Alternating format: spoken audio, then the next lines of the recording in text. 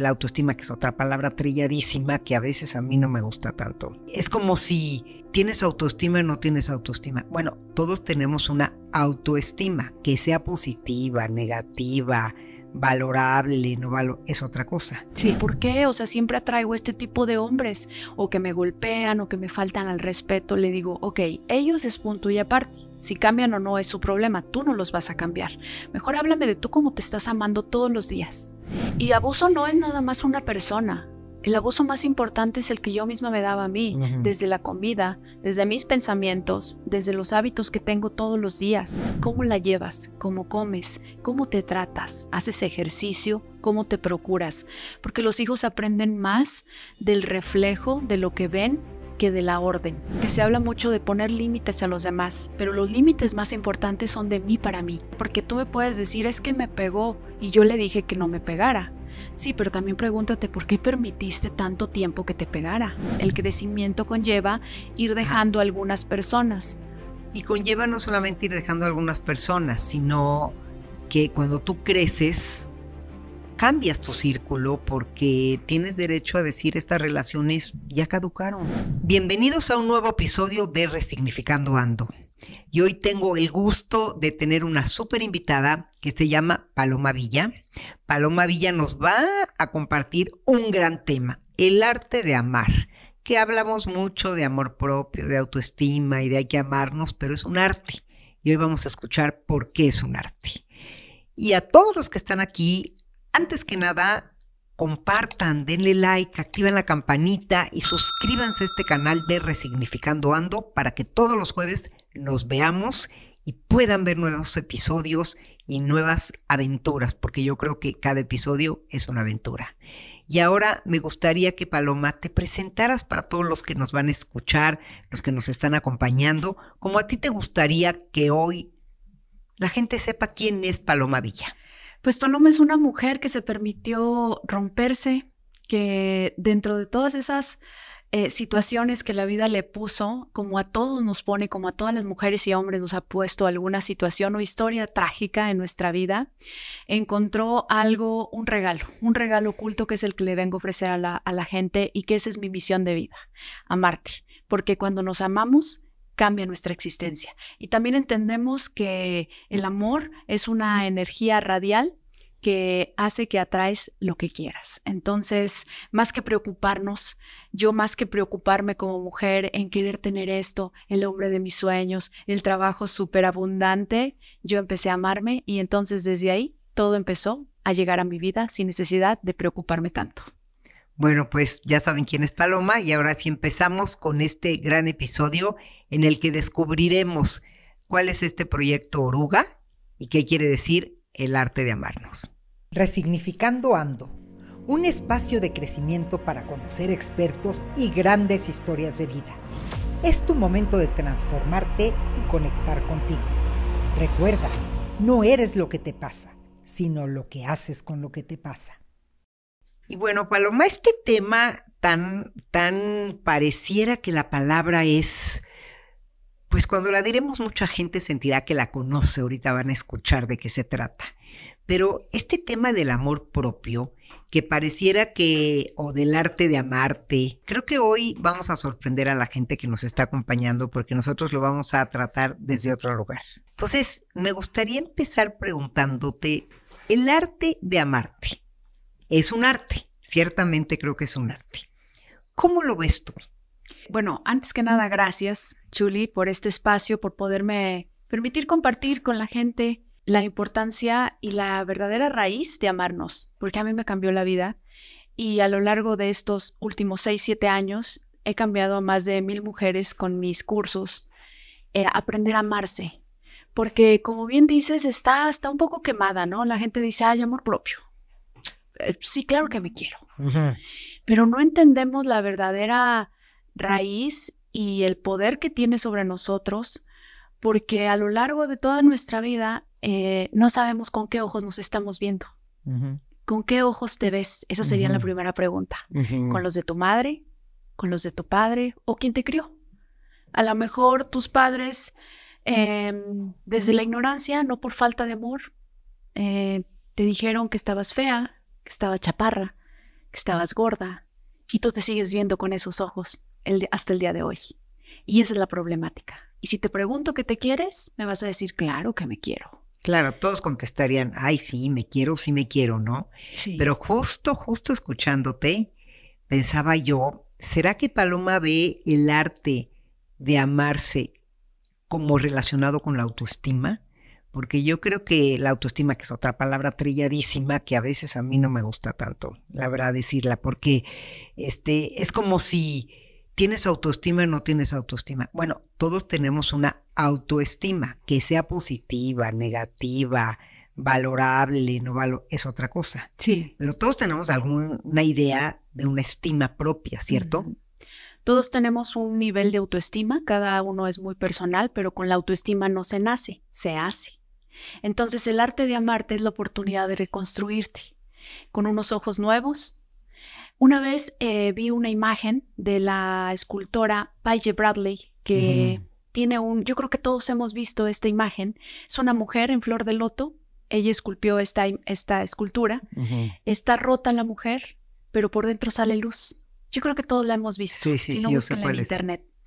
Cuando yo la vi, me vi reflejada en ella. Y sabía que lo que me estaba pasando en ese momento, todos esos acontecimientos que en su momento los, llamé tragedia, era como si una energía más poderosa o venida de allá arriba, de la divinidad, Dios, universo, como le quieran llamar, me estaba empujando al encuentro más importante, al encuentro conmigo misma.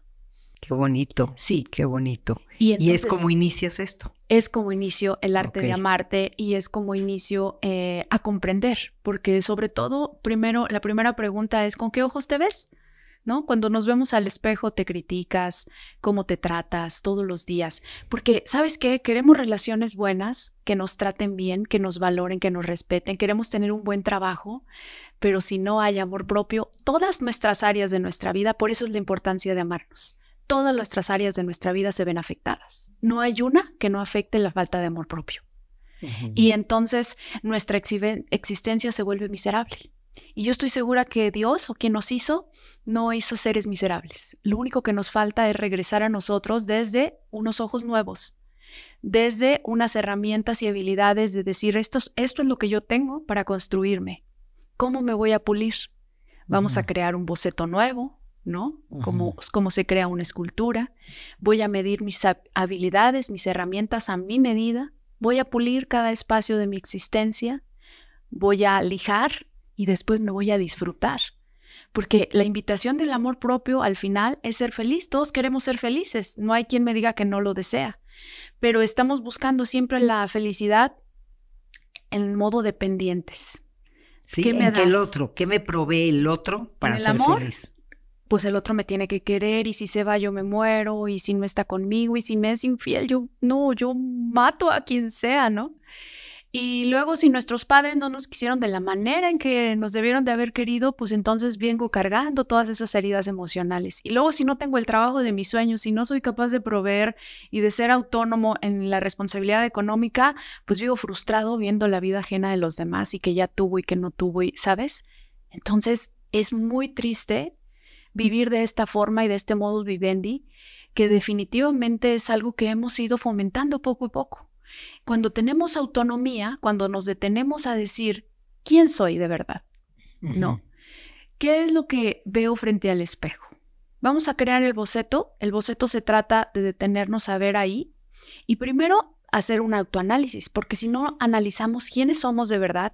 Una vez en un curso, cuando terminó el curso, una alumna me dijo, Paloma, estudié arquitectura para complacer a mi papá y me di cuenta que me traicioné a mí. Que... Y están, yo, yo, yo que me dedico a la terapia, mi, mi consultorio está lleno de esas historias, ¿no? Que hacemos tanto por complacer a los demás, porque dijiste algo importante, Paloma, como las primeras miradas que tenemos para formarnos como seres humanos son las que nos dan nuestros padres y son las primeras miradas estamos viendo esos ojos de papá y mamá para complacerlos muchos años de nuestra vida en un montón de temas. ¿Cuánta gente no se ha casado con el amor de su vida porque no le gustó a los papás? ¿Cuánta gente no ha estudiado la carrera porque era artística y no era valorada para los papás? Quieren un, eso no es una carrera profesional. ¿Cuánta gente no resignifica su vida. Me gusta lo que estás diciendo porque si me conoces yo siempre hablo de resignificar, que tenemos que resignificar y así se llama este espacio, justo resignificando ando, ¿no? Entonces, esto de verte al espejo, como en esta imagen que tú dices para crear tu boceto, ¿en qué momento lo decides? ¿Cómo, dirías tú que es el punto de decir, hoy me voy a reconstruir? Fue un suceso de acontecimientos que en su momento los lloré, lo, no sabía, no entendía el significado, pero siempre he estado como muy alerta, porque también hay que prepararnos para estar alerta a los mensajes que Dios. Dios a veces usa a las personas, a las tragedias, a las circunstancias, pero que en su momento las vemos como eso, como algo trágico, algo malo. Pero si no tenemos la sabiduría de ir más al fondo, y es ahí cuando nos damos cuenta que Dios nos está enseñando de una forma amorosa, aunque en el momento la circunstancia se presente como algo malo. Entonces, lo que detonó más esta situación de amarme de verdad fue el divorcio que yo viví, ¿no? Porque recuerdo que una tarde en mi departamento vivía en un piso 21 eh, y ahí ya habíamos decidido este, dormir en camas separadas y vi que entró al departamento la cama de, de mi ex marido y entonces el sol me estaba dando tan de frente que es como si algo me estuviera iluminando. Sentí mucha tristeza, claro que sentí mucha tristeza. Pero dije, dentro de todo este dolor es una invitación, como una energía que te empuja hacia lo más arriba para que tú puedas entender que es el momento de transformarte. No. Entonces, todas las circunstancias que ustedes me quieran decir, pero yo cómo me voy a querer yo cómo me voy a respetar, yo cómo me voy a valorar si han abusado de mí, si me han sido infiel, cómo voy a perdonar a alguien que me fue infiel. Si me ha corrido de, mil si trabajos. no me funciona, no funciona ningún trabajo, ya estoy harta, me caigo gorda porque me lo han dicho, me caigo gorda y me miro al espejo y no veo nada y me siento fea y me siento gorda. Pues claro, porque estamos viviendo más para la tragedia que para la información que hay escondida dentro y detrás de esa tragedia, ¿no? Tú eliges si lo ves, si te documentas, ¿no? Escuchas o algo, o abres tu mente para decir qué hay aquí abajo de esto, que lo podemos ver, pero hay que aprender a mirar de verdad, a mirar de verdad la, la, circunstancia. ¿Qué sucedería si me atrevo a dejar esta situación? ¿Qué sucedería si me atrevo a dejar este trabajo que me hace miserable y que ni siquiera cubre los gastos que yo quisiera del estilo de vida que quiero tener? ¿Qué pasaría si me atrevo a poner límites? Los límites también es una parte fundamental porque se habla mucho de poner límites a los demás, pero los límites más importantes son de mí para mí. ¿Sí? ¿Por qué? Porque tú me puedes decir, es que me pegó y yo le dije que no me pegara. Sí, pero también pregúntate, ¿por qué permitiste tanto tiempo que te pegara? Porque quien estaba ahí recibiendo esos golpes eras tú. ¿Qué dependencia, qué falta de respeto ante tu vida te hace falta para desde un principio haber dicho, a mí no me pegues, una más y me voy? ¿No? Entonces, al final fueron circunstancias que me fueron enseñando como un mapa. Eh, hay que rompernos, hay que romper todas estas estructuras mentales, todas estas formas de vida y todas estas creencias, porque vivimos más para una máscara, para un programa, para un personaje. Para una complacencia exterior, ¿no? Exacto, para un personaje. Vivimos más para la apariencia, para complacer a los demás y somos tan, pero de verdad tan rudos con nosotros mismos, nos tratamos tan mal. A veces eh, yo cuando estaba en mi faceta de la niña perfecta, ¿no? Porque quería seguir siendo esa niña perfecta que a todos complacía, me fui dando cuenta lo exigente y lo terrible que me dejaba las consecuencias. Llegó un momento, Chuli, que mi piel empezó, yo me rascaba y, o sea, si aquí me ponía paloma, se marcaba en rojo. Sí, y dicen que eh, todas las... Em, todas las situaciones de abuso que emocionalmente tú absorbes o permites se manifiestan en tu piel. Y cuando empecé a amarme, esto, la verdad ni siquiera me di cuenta, pero empecé a cambiar mis hábitos en todos los sentidos, se fue la enfermedad, desapareció, no hice nada. Simplemente la piel entendió el amor y, recibió esa energía. Y entendió que tú ya no ibas a estar en ese lugar y que tú habías decidido resignificar, resetear tu vida y salirte de un lugar de abuso, de maltrato, de, sí. Y abuso no es nada más una persona. El abuso más importante es el que yo misma me daba a mí, desde la comida, desde mis pensamientos, desde los hábitos que tengo todos los días. Porque si tú todos los días estás comiendo pan, estás abusando de algo que sabes que te hace mal. Si tú todos los días te permites estar en pensamientos negativos, te permites enojarte, me han dicho, pero ¿cómo controlo tus, mis emociones? Y yo, pero es que, ¿quién más se puede meter a tu cabeza?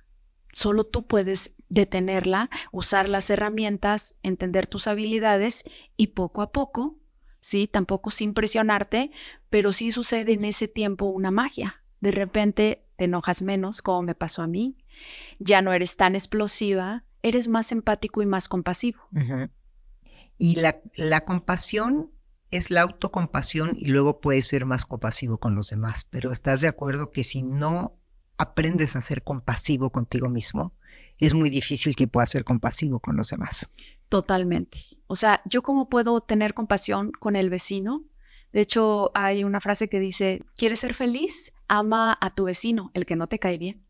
¿No? Porque lo más fácil es amar al que te cae bien, pero aprendemos a ser compasivos y también entender que esa persona que está ahí, aunque a lo mejor no me vibre y no sea mi amigo, puedo ser más compasivo en determinado momento. ¿Por qué? Porque esa persona a lo mejor no tuvo la oportunidad de educación que yo tuve. Esa persona no sé qué problema puede estar teniendo en este momento. Esa persona desea ser feliz, pero las circunstancias no se lo permiten o él no se lo permite por falta de información o lo que sea. Pero desde ahí lo ves con ojos de amor. Entonces, el amor propio es una energía radial que atrae lo que tú quieres. Si tú te amas, vas a atraer personas que te amen en la misma medida. ¿no? Porque muchas veces me llegan a, las alumnas a preguntar, pero ¿por qué? O sea, siempre atraigo este tipo de hombres, o que me golpean, o que me faltan al respeto. Le digo, ok, ellos es punto y aparte. Si cambian o no es su problema, tú no los vas a cambiar. Mejor háblame de tú cómo te estás amando todos los días. No, pues no saben cómo se aman. Y es como hacer escuchándote, Paloma, concreto lo abstracto, porque volvemos al inicio, ¿no? Que decíamos, a ver, el arte de amar o amar propio, el amor propio es algo de lo que se habla mucho. Sí. Pero a mí me gusta mucho decir esta frase. ¿Cómo se vería eso? ¿Cómo haría lo abstracto en concreto? Porque si no nos quedamos en estas cosas como, como poco tangibles, ¿no? Si tú le tuvieras que enseñar a alguien a amarse, y me parece que va por la línea que dijiste, ¿no? ¿Qué comes? ¿Qué piensas? Eh, ¿Qué emociones manejas? ¿Cómo convives con los demás? ¿Cómo te acercas o te alejas? ¿Cómo eliges tus relaciones? ¿Cómo eliges tu trabajo? Entonces, tiene que ver más con una cosa totalizante, con una cosa global de tú y tu entorno y de ti contigo mismo. Así es. Aquí la respuesta sería la conciencia es la llave de oro la conciencia llevarla al extremo de cada hábito. Me levanto yo hoy y amanecí triste, está bien, porque todos hemos amanecido tristes, sin ganas, todos, de todas las emociones, buenas y positivas y negativas, aunque no sea la mejor forma de expresarse de ellas, pero ok, hoy me levanté sin ganas y hasta triste. Entonces me permito eh, analizar mi emoción, así, acostada en la cama, ¿no? Esos cinco minutos de más que todos a veces tenemos. Pero entonces digo, ok, si yo sigo con esta emoción triste, ¿qué voy a generar para mí? Desde pensamiento, desde energía, en mi salud física, mental y espiritual. ¿Qué, o sea, ¿qué gano? Porque no va a venir el hada mágica y me va a decir, ¡tarán! Ya estás alegre. No, yo soy consciente de que la única que puede entrar a mi mente soy yo. Y yo tengo el control y la gestión de mis emociones. Entonces, de inmediato uso una historia a mi favor o pongo una música que me dé alegría. Y si el aroma del café me, me hace alegre, me levanto a poner y de inmediato empiezo a recordar historias positivas que me hayan pasado. Tenemos el mando y el autocontrol de acá adentro, ¿no? Ese control de decir, le prendo y le enciendo la emoción positiva a mi vida. A ver, a mí me cayó bien o me hace feliz pensar en cierta persona. Si piensas en una persona que te evoca una emoción positiva y si te evoca una emoción negativa, tampoco asustarse, ¿no? Sí, eh, piensas en esa persona, en esa situación o cosa, ¿no? Que trae una energía y que de solo pensarla crea una emoción y un sentimiento en todo mi cuerpo y ya estoy con mi cafecito, ya lo estoy oliendo, ya lo estoy saboreando, tengo la música que me gusta. Entonces, en ese momento la emoción de la tristeza, yo te aseguro que un 80% ya salió de tu cuerpo, ¿no? Ya estamos en otro modo. Y desde ahí iniciamos. Me voy al trabajo, eh, oh, mi jefe, ¿no? Va a estar con su cara. Hazlo por ti, no lo hagas por él. ¿Qué tal si hoy, en lugar de pensar que el jefe, el jefe es malo, es un monstruo y nada más está viendo cómo me explota, pienso lo contrario?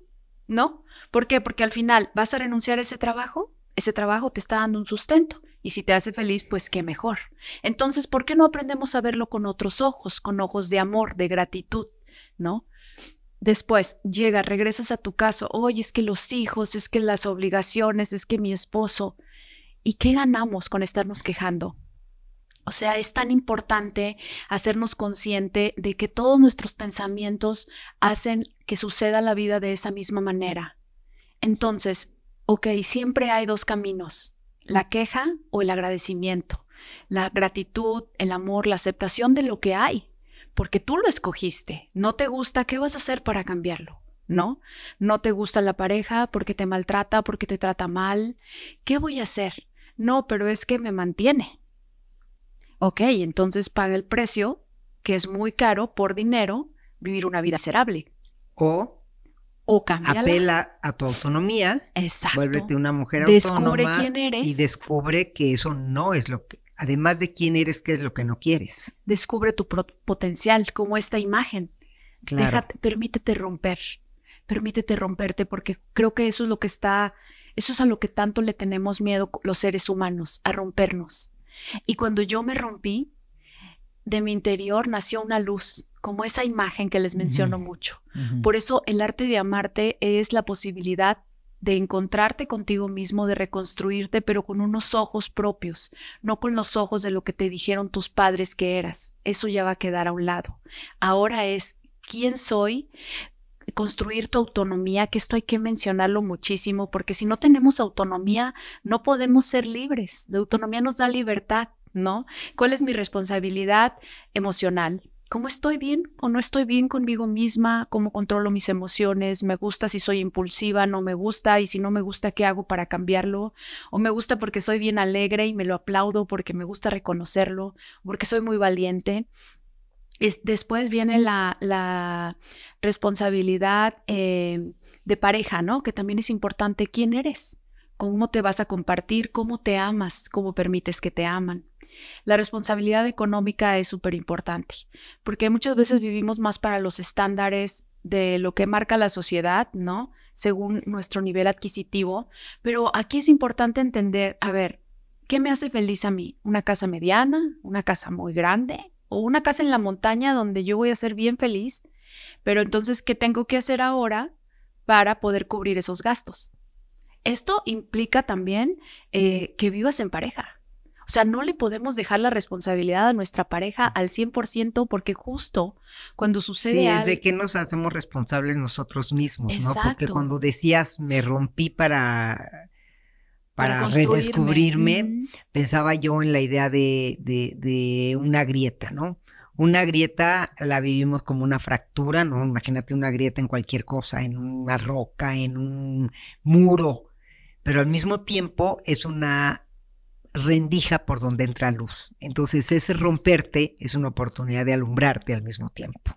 Y alumbrarte no te puedes alumbrar en una sola área. Cuando tú te alumbras a tu vida, te alumbras a todas las ventanas de tu vida y a todas las áreas de tu vida. Y fíjate que ahorita que decías eso, recordé una frase de Nelson Mandela. Decía, el ser humano no le tiene miedo al miedo, le tiene miedo al amor, porque de verdad somos seres tan grandes, tan potentes, tenemos un amor adentro de nosotros que cuando lo descubrimos y conectamos con él, eliminamos cualquier forma de pensamiento que nos dice que somos seres miserables entonces le tenemos más miedo a este descubrimiento, a, descubrir ese brillo que yace en nuestro interior, para poder desde ahí también compartirlo, porque también hay algo que me dicen a mí o que me escriben en mis redes sociales, pero es que el amor propio es ser egoísta.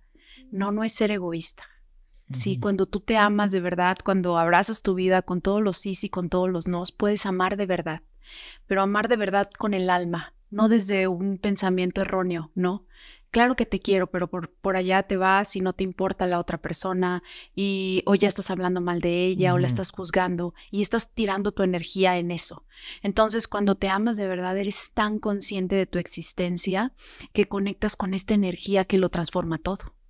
Claro, y es una energía muy poderosa que hace que vibremos emociones de muy alto nivel. Así es, y cuando se vive acá, en esta frecuencia, eh, todo es más ligero. No quiero decir que no van a pasar situaciones o cosas que no nos gusten, pero vamos a tener tantas habilidades y herramientas para poder afrontar eso que va a ser también desde el amor, de, porque el amor es aceptación. Entonces vamos a aceptar las cosas como son, entendiendo y confiando y soltando como algo parte de un plan divino, pero entonces ya el sufrimiento disminuye, ¿no? Totalmente. Claro.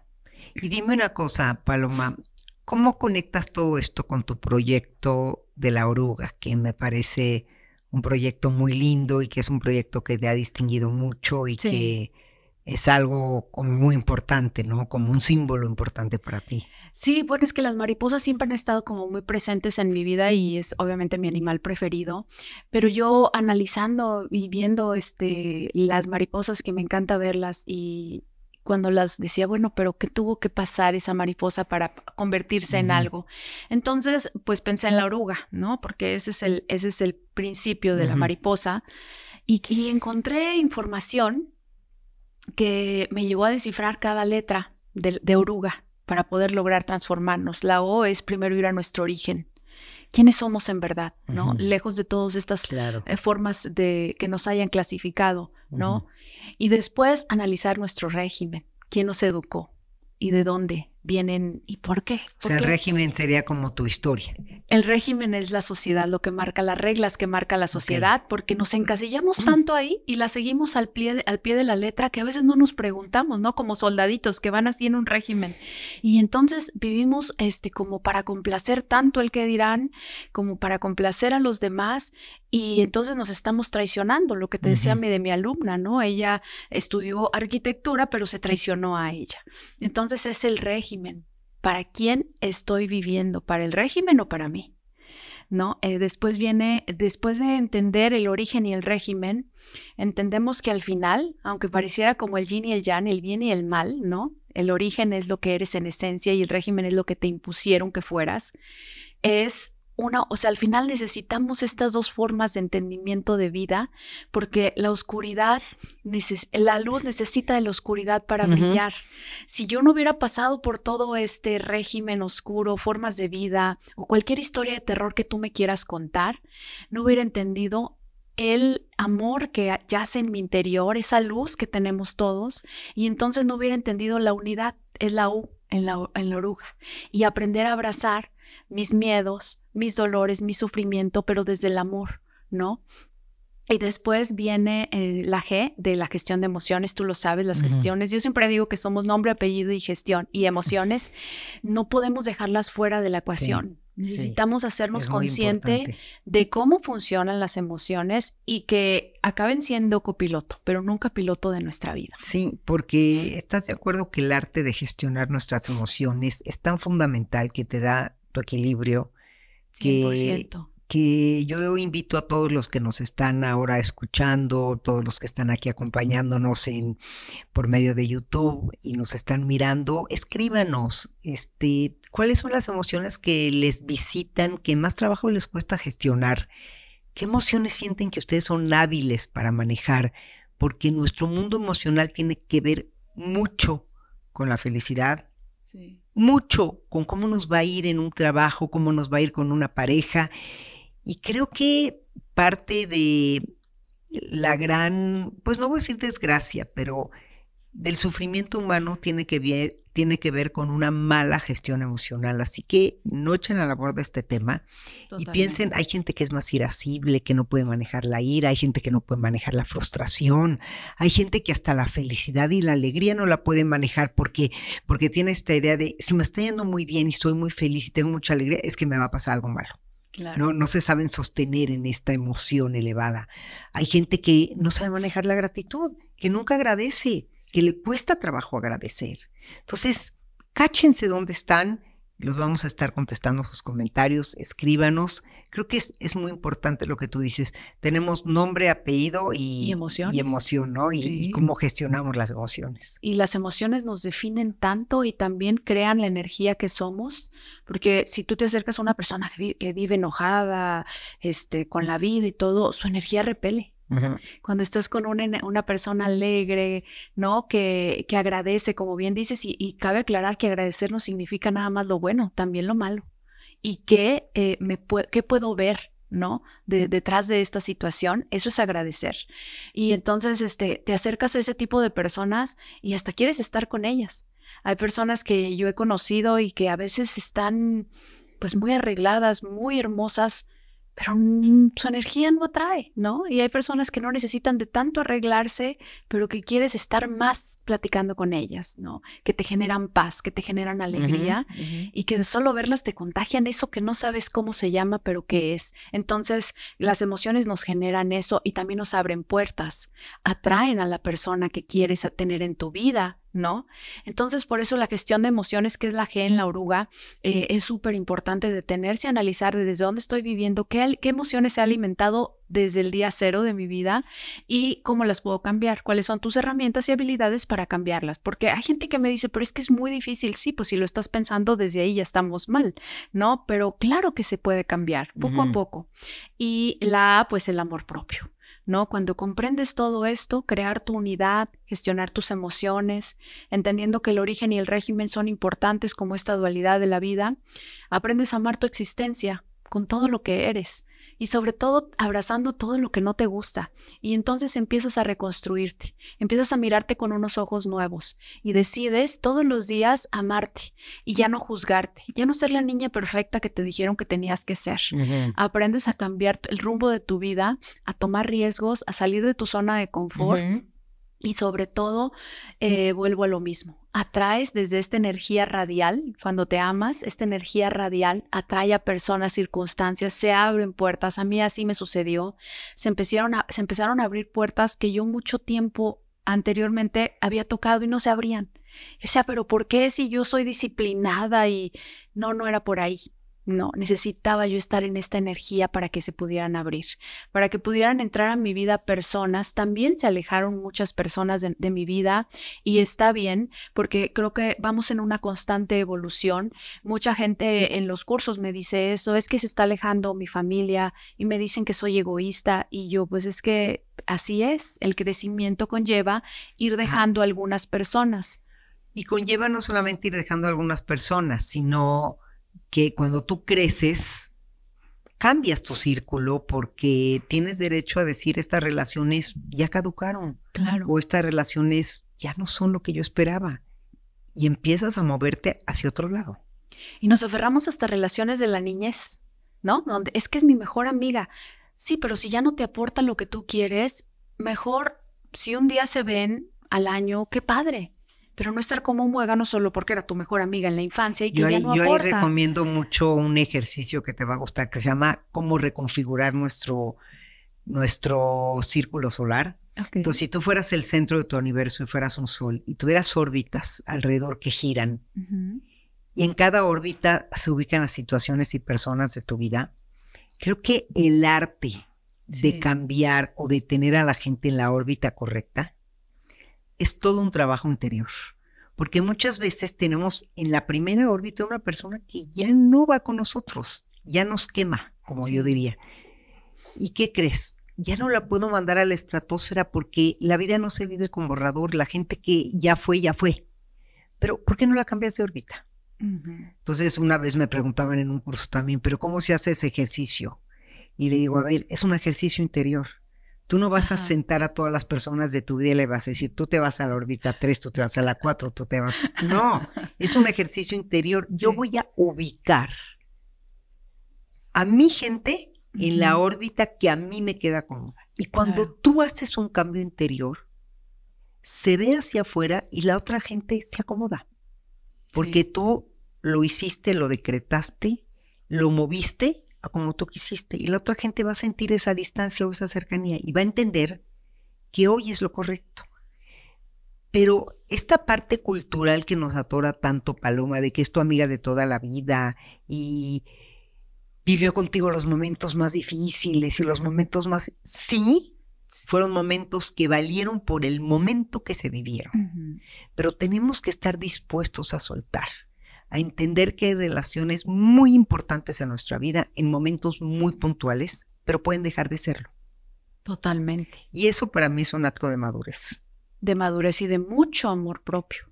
Porque aprender a soltar, mira, no sé si te pasa que a veces nos invitan a fiestas y no queremos ir, ¿no?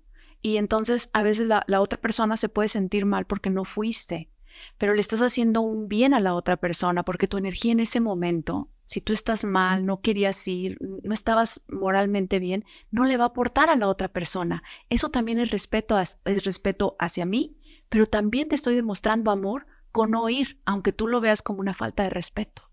¿Sí me entiendes? Entonces, esa parte es súper importante. Aprender a sí, pero culturalmente y como sociedad tendríamos que reeducarnos totalmente porque no lo vemos así. Lo vemos con un acto de traición, como que alguien falló. y es de falta de respeto. Yo te invité y no viniste. Entonces, por eso es es importante definir esta parte del arte de amarte, porque el arte de amarte es más allá de lo que es la palabra amor. Tiene que ver con, con una trascendencia, con un impacto en toda tu vida. Totalmente. Es liberarnos de todo aquello que nos hace sombra, que nos contamina la mente, pero que también contamina nuestro círculo y como sociedad. Porque se cree que el amor propio o el arte de amarte es un acto egoísta. No, cuando te amas de verdad, eres más empático, confías más, sueltas más y atraes mejores cosas. Amarnos de verdad es un, acto de responsabilidad, porque cuando amas, como bien lo decíamos, somos más empáticos, más compasivos, respetamos los espacios de las demás personas y también eres más próspero. La abundancia es una energía totalmente alta, en una energía donde vibra el amor. Si tú no vibras en amor, es imposible que atraigas una energía de prosperidad. Todos queremos tener una estabilidad económica. ¿Cómo están tus emociones? ¿Cómo piensas? ¿Cómo te tratas? ¿Crees que de verdad tu energía empata con eso? Entonces, también con la familia, ¿no?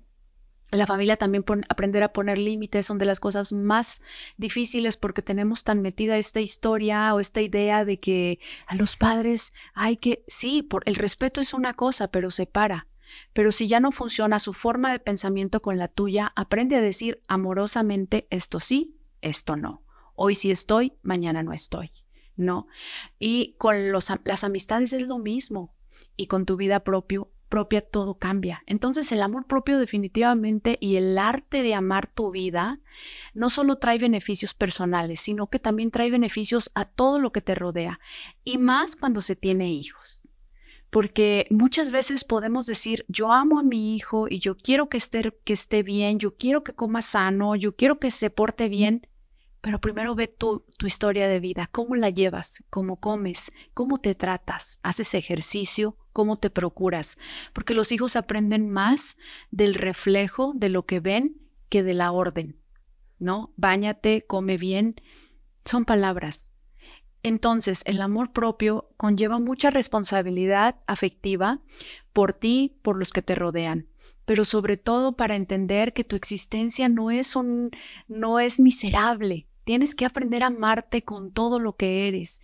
Déjate destruir, permítete llorar, permítete quebrarte y permite que esa luz que Dios puso desde el día uno en que naciste en este, en este planeta, puso para ti nada más. Tenemos una luz única e irrepetible como seres humanos. Aprendemos a dejar de compararnos. El que dirán nos importa ya muy poco o nos importa desde la gratitud, pero no desde la necesidad. Si tú vienes y me dices, qué bonita te ves, Paloma, yo voy a decir, gracias, Chuli, ¿no? Pero no me interesa en el sentido de que, eh, no me dijo nadie que hoy me veía bonita. ¿Será que no me veo bonita? No, porque yo ya sé cómo me veo en ese espejo, con qué ojos me estoy viendo, con los ojos más importantes, porque también es importante entender la voz más importante para tu alma y para tu corazón es la propia. Si tú no aprendes a decirte lo que vales, lo que eres y lo hermosa y maravillosa que eres, así venga la persona más importante del universo, tú no te lo vas a terminar creyendo, porque nuestra voz es la más importante.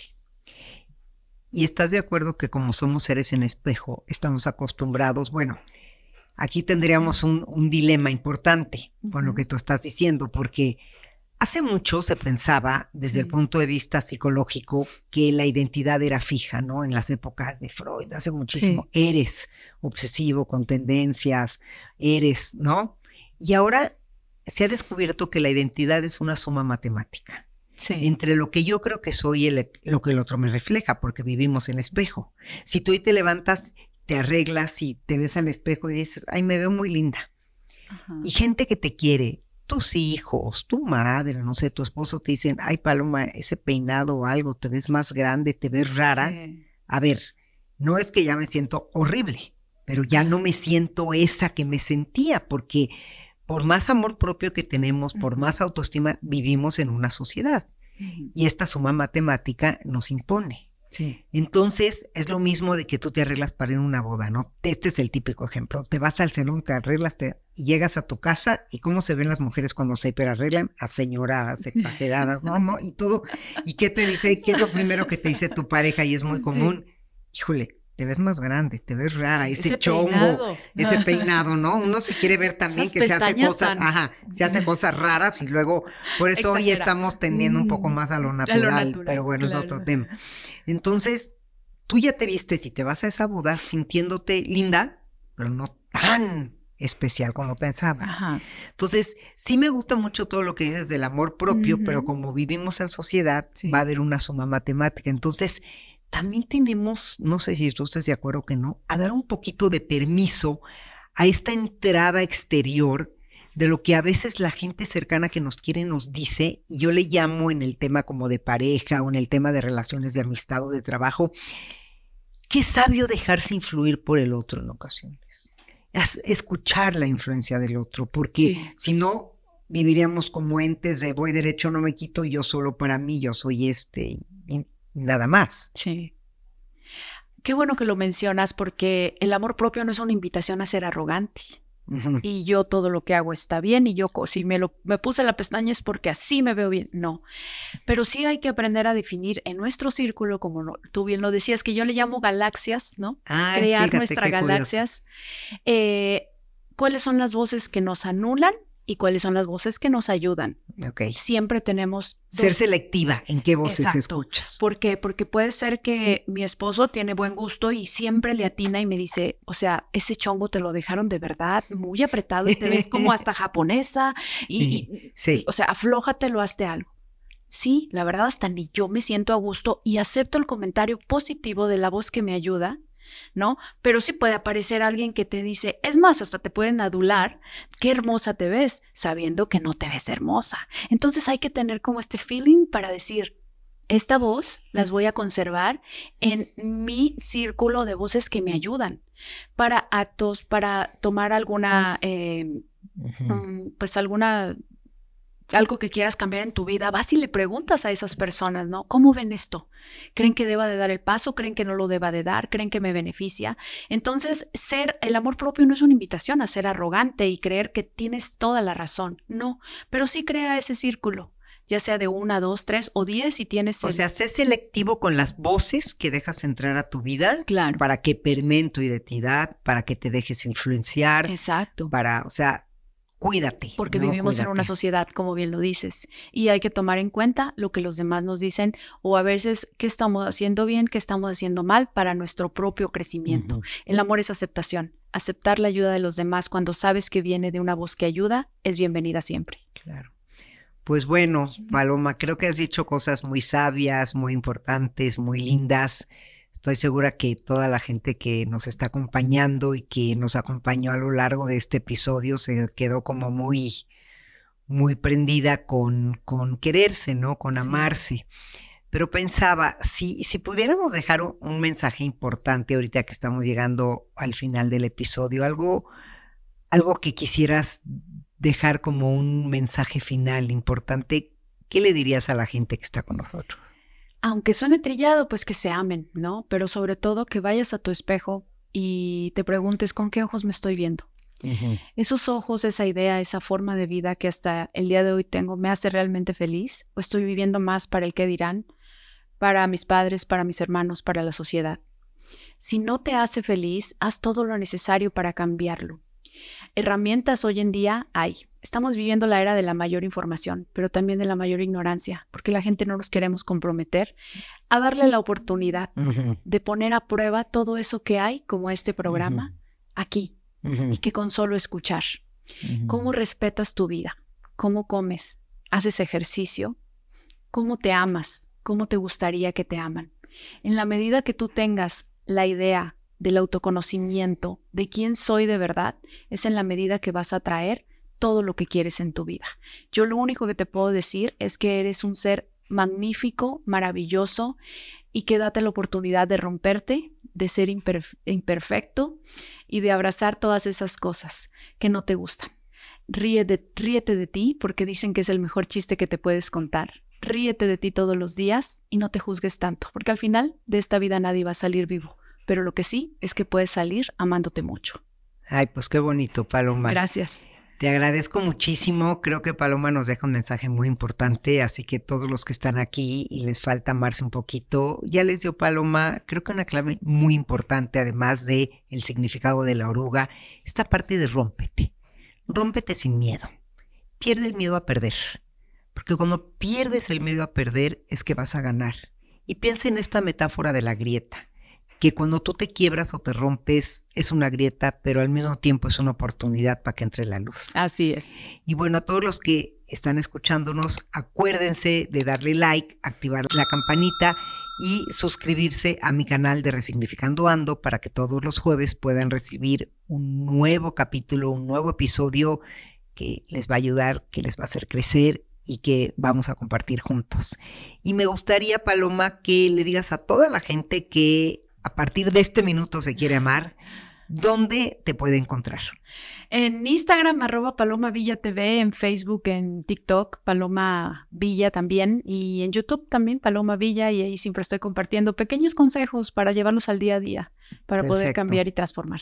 Pues síganla, porque de lo sencillo es que está hecho lo complejo de la vida. Así que las cosas simples pero sostenidas en el tiempo son las que más nos sirven, entonces Paloma los puede acompañar en toda esta parte de romperse, reinventarse y aprender sobre todo el arte de amarte. Gracias, Julie.